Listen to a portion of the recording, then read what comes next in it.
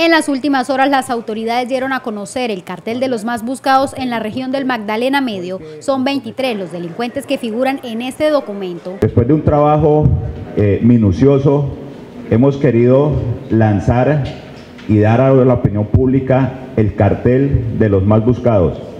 Son 23 delincuentes que previamente, por un proceso de judicialización, a través de nuestra Fiscalía General de la Nación, los pudimos colocar aquí en el cartel para informarle a toda la opinión pública que nos ayuden con la información para lograr la captura de estos delincuentes.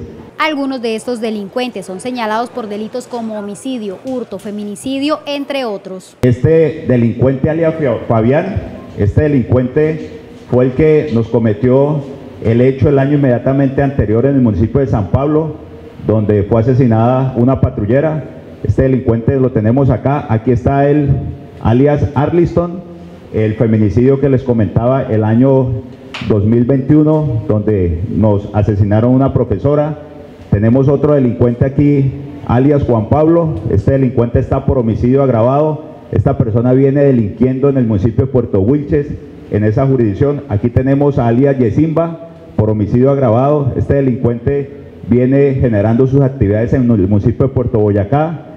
Tenemos aquí a alias Elian, alias Menor Iván y alias Depinde. Estos tres delincuentes vienen generando su accionar delictivo aquí en nuestro distrito especial. Un caso para resaltar entre estos delincuentes es el de Arlington Polo, responsable del feminicidio de la docente María Angélica Polanco, ocurrido el año 2021. Tenemos delincuentes relacionados por feminicidio.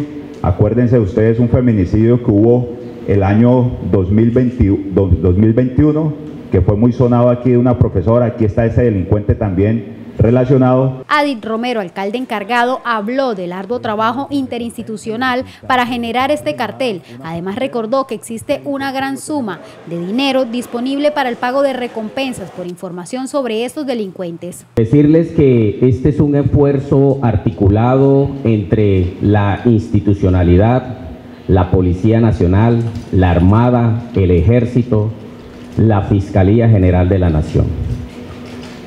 También manifestarles que en estos momentos contamos con una bolsa para el pago de recompensas.